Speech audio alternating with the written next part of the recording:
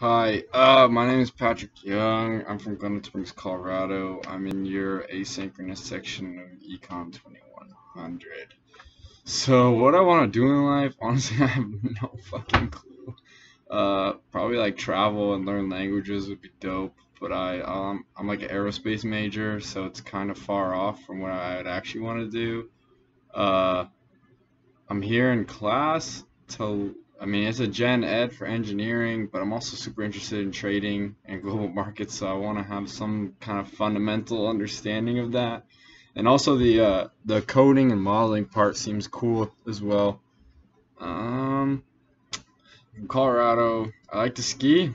I really love skiing. It's one of my favorite things, and this humidity is actually brutal. I'm not used to it, so yeah. And I also uh, I also lost like two thousand dollars in the stock market and then made it back in one day. So that was cool. Yeah, not really great economic principles, but yeah. Alright, bye.